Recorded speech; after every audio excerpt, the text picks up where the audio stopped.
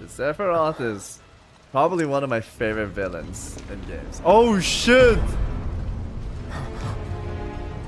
Dude, he's so tall, man! Holy!